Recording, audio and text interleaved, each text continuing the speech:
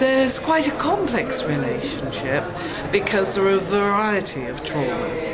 There's possible traumas in utero and at birth, and then later on there can be traumas during development, uh, and those traumas can be specific, relating to teasing and criticism about weight or shape, or general, such as abuse and neglect.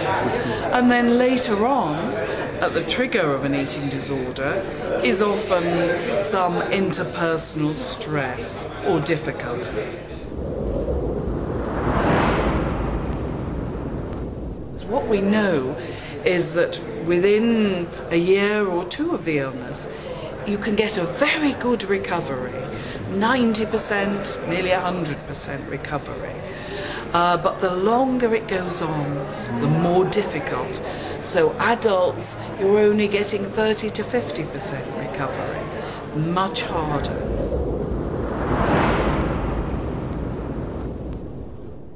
The, the internet can be a friend or an enemy.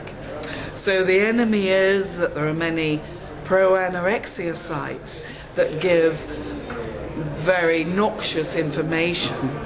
Uh, but what the internet can do is give good information for parents so they see the early signs, so parents know how to intervene, so they go to medical help very early and feel confident.